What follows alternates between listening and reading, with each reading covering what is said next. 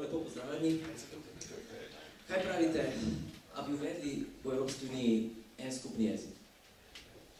Jaz sem bil med poletnimi počitnicami na združenju mladih evropskih federalistov v Neumarktu na avstrijskem Koroškem, oziroma na avstrijskem Štajerskem. Jaz sem tale. Um, no in v bistvu najbolj mi je bilo zanimivo to, kako smo se hitro ujeli in smo prijateljili mladi iz najrazličnejših evropskih držav. Bili smo iz Romunije, Bolgarije, Italije, Slovaške, Italije, Francije in dejansko nas druži ista glasba, isti filmi, ista evropska zgodovina, ampak na koncu dneva, ne glede na to, kako dobro smo se imeli in zabavali, smo sedeli za mizami po jezikih, po državah. In jaz sem takrat začel razmišljati, kako je dejansko v Evropi in nasplošno na svetu jezik edina ovira, ki jo imamo ljudje pri, pri sklepanju prijateljstv, pri navezovanju stikov, ker dejansko, ko poslušaš mađare zraven sebe, ko neki govorijo, itak da jim ne zaupaš. Ne?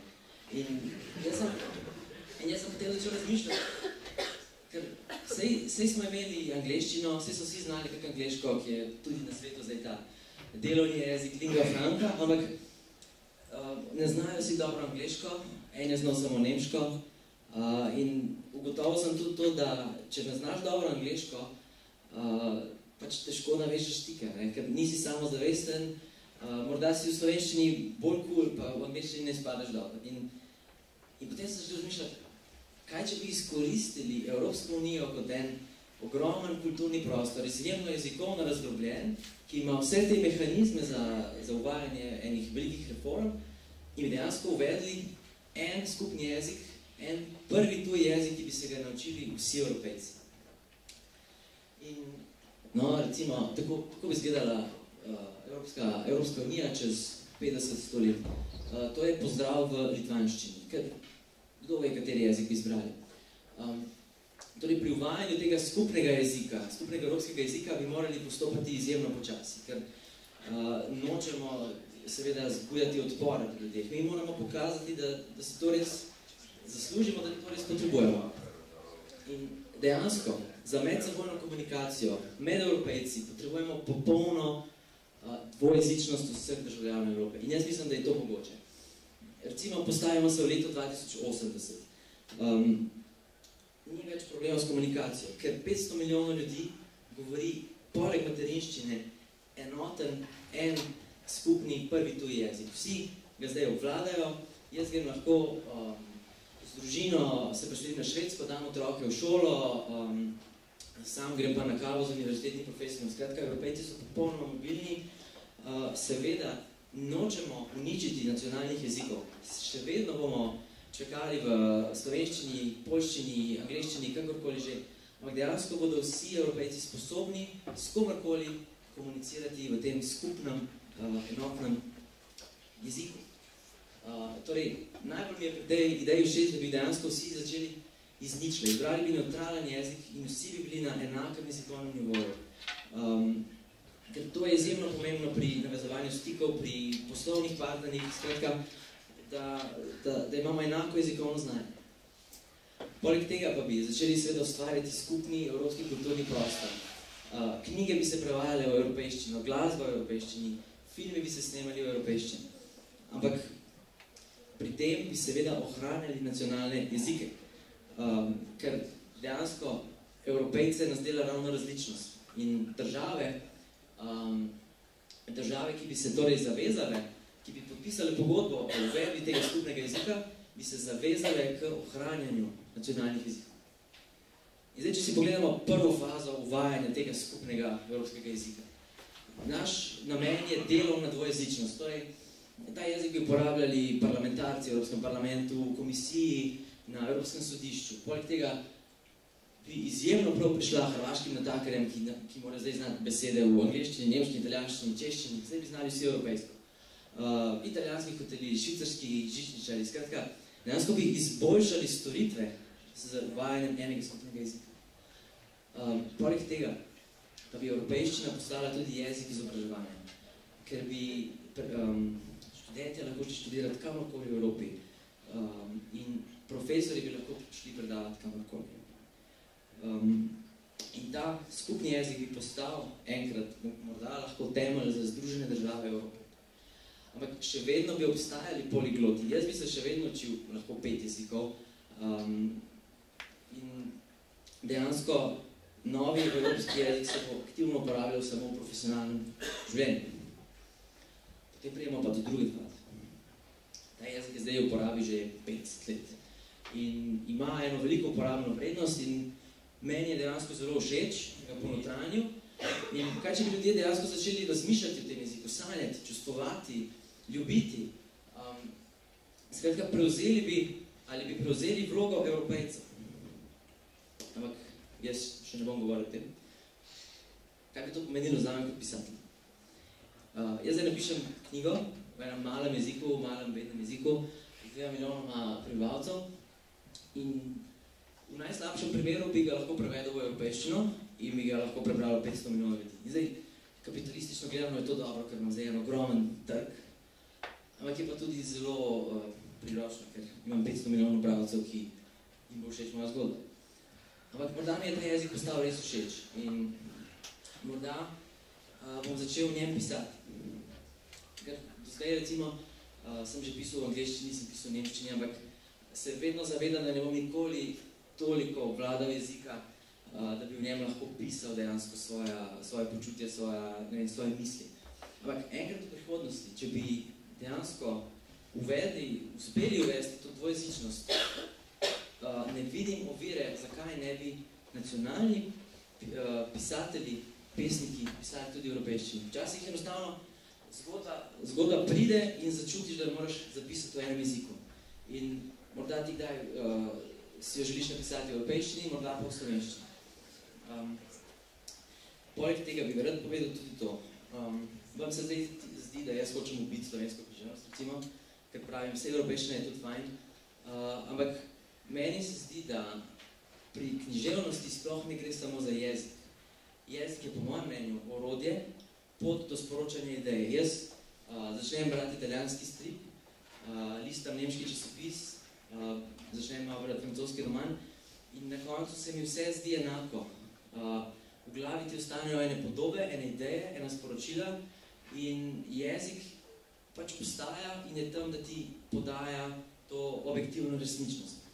In dejansko so vsi jeziki eno in isto. In recimo, amin, Ana Karenina, ne, mi jo bomo za maturo, uh, je po mnenju mnogih najboljši roman vseh časov. Ampak koliko te jezik dejansko, um, uh, koliko te jezik dejansko definira. Um, so italijani stereotipno bolj samozavestni, čustveni, sproščeni, zato ker je italijanščina takšna, ali je italijanščina takšna zato, ker so italijani takšni po, po svoji naravi. Um, in to je eno izjemno zapredeno vprašanje. A je jezik tak zaradi nas samih, ali smo mi taki zaradi jezika? Uh, ampak meni se zdi, da je jezik tak zaradi nas samih, ker je jezik dejansko samo orodje. Torej, ko se ti začneš učiti tuj jezik, a se ti v bistvu podrediš tuji kulturi, sprejmeš njihov način razmišljanja, ali ta jezik vzameš za svojega in ga pod, po, po, ukloniš svojim mislim.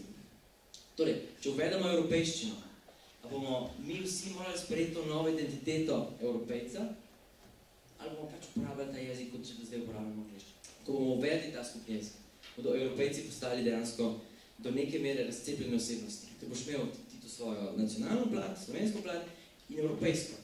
Um, in torej bomo sprejeli identiteto evropejca, ki bo uniformirana po vsej Evropi. Vsi bomo enaki evropejci.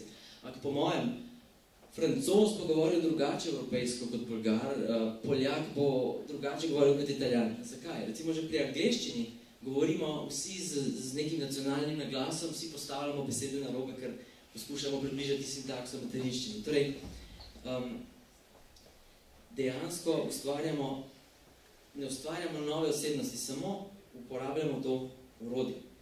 In poleg tega pa sem tudi torej meni, da izbrani jezik uh, bo itak na dolgi rok postal nekaj drugega in če takrat bo to postala evropejščina. Ker jezik dejansko bo prišlo na kratkoročno do teh narečnih razhajanj, tako kot med avstrijsko in nemško nemščino. Um, hkrati bo jezik sprejemal besede iz nacionalnih jezikov In usoda jezika je odvisna samo od skrbnikov jezika in od mobilnosti oziroma izoliranosti evropskih državljanov. Kateri jezik bi to sploh lahko bil? Zdaj, jaz sem se zelo zvitev izogibal angliščine. Zakaj? No, v prvi fazi, mora iti za živ jezik, ker mrtvi jeziki se je izkazalo, da ne, ne gre. Ker zelo priročno je, če imaš kakšne žive govorce, ki lahko drugi učijo tega jezika. Le jezik ne sme biti prevelik, zato ker hočemo, da se vsi evropski državljani učijo tega jezika na novo, da štartajo z ničle, zato da bojo enakopravni, da bojo da se ne bomo več mi podrejali, ne, ne vem, angležem, da ne bom več jaz v komunikaciji z italijanom njemu podrejen, ker bom znal bolje ta jezik. Um, torej, ta jezik mora biti politično neutralen, torej ne more biti jezik neke vele sile. Hkrati pa ne sme biti premajhen, ker uh, potrebujemo dovolj razvito jezikovno infrastrukturo. Kaj ste mislili? Mora imeti slovnico, slovar, romane, kulturo, filme, prevedeno tujo literaturo in svojo literaturo. In hkrati pa potrebuje dovolj prebivalcev, ker bomo imeli celo generacijo profesorjev, se bojo oni, uh, oni bojo, ne vem, šolali bomo 10 tisoč profesorjev, ki bojo šli v tujino na tuje fakultete in bojo um, poučevali, torej izurili uh, te tujce, da bodo naprej podajali. Naš namen ni uničiti nacionalnih jezikov, naš namen je dvojezičnost, omogočiti študij kjerkoli si v Evropi. Ali bodo srednje šole še potekale nacionalnih jezikih? Seveda bodo, kdo bi si to sploh, kdo bi sploh hotel to uničiti? Zdaj, ali bomo sploh še izdajali knjige v, v, v nacionalnih jezikih? Uh, jaz mislim, da bi vlogo zaščitnika nacionalnih jezikov morala prevzeti Evropska komisija, ki bo torej lahko uveljavimo na konec koncev kvote. Toliko je toliko slovenskih knjig na leto. Skratka, in bo morda še boljša situacija kot zdaj. Uh, bomo sploh še snemali film o nacionalnih jezikih. Torej, če ustvarimo evropski Hollywood, ki bo snemal neprimerno boljše filme. Vedno bodo ljudje, ki bodo hoteli pisati knjige v svojem lastnem jeziku, snemati filme v svojem lastnem jeziku in tudi, če bomo gledali evropske filme, jih bomo še vedno lahko upremili s podnapisi, italijani in poljaki bodo še vedno katastrofalno sinhronizirali. Na koncu, na koncu sem vprašal, zakaj bi se sploh še učil nacionalnega jezika, če bom pa lahko potoval po Evropi, um, študiral kjerkoli, imel družino kjerkoli, skratka, bil popolnoma mobilen. No, itak ne bodo nikoli vsi ljudje mobilni. Že, če bi se 30% slovencov odločilo, ja, jaz pa zdaj na, ne vem, uh, živeti na Polsko, ker itak znam ta jezik. Skratka, vedno nacionalni jeziki bodo preživeli, zato ker uh, smo ljudje izjemno lenobni in radi živimo tudi izolirano. In Evropa ne bo nikoli toliko povezana, da bi morali uh, nacionalni jezik izginiti. Še tako, zadnje vprašanje, kako bomo pa dosegli, da, da se bo sploh kdo hotel učiti ta jezik? Ker tudi če napišeš v zakon, vi se morate vsi naučiti ta jezik, ja, jaz ga iz principa ne bi hotel učiti. Ne? Um, predstavljajte si to, ne? greste na jezikovni davor in lahko zapeljujete punce iz cele Evrope v tem jeziku. Ni več polomljene francoščine, recimo, en, en argument. Um, ja, ampak ne. Dokler ne bo obstajala evropska kultura, cool evropski filmi, evropske knjige, do takrat evropščina ne bo, evropeščina ne bo zaživela.